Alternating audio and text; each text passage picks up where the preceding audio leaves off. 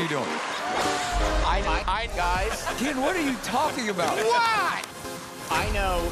Okay, I know exactly, exactly who this is.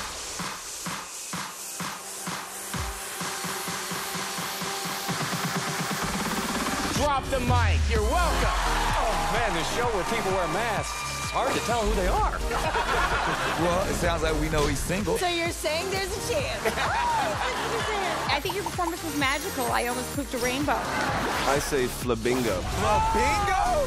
That was terrific. Shut up, Robin. Forget about it. Thank you, Robin. I think you're wrong. I think I'm right. I think it's me! Okay, this show just got weirder.